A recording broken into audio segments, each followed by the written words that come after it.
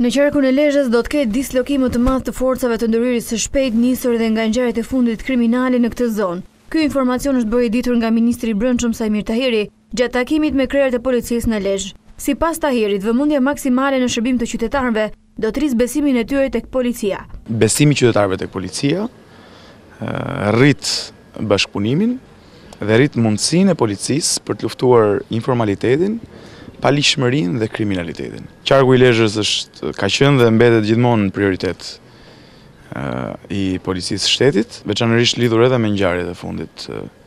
kriminale dhe për këtë arsye kemi kërkuar dhe kemi planifikuar dislokimin më të shpesht në mos permanent të forcave të ndërhyrjes së shpejtë në zona të caktuara të qarkut, aty ku edhe harta e kriminalitetit është më e lartë. Ministri i Brendshëm Saimir Tahiri i shoqëruar dhe nga drejtori i përgjithshëm i Policisë së Shtetit Haki Çako ka përshkruar në këmbë qendrën e qytetit të Lezhës. Takimi i ministrit të Brendshëm Tahiri me krerët e policisë vjen një javë pas përplasjes me armë në qendër të qytetit të Mamurrasit, ku nga shkëmbimi i zjarrit mbeti i vrarë një person dhe u plagosën katër të tjerë, mes tyre dhe kalimtarë të rastësishëm.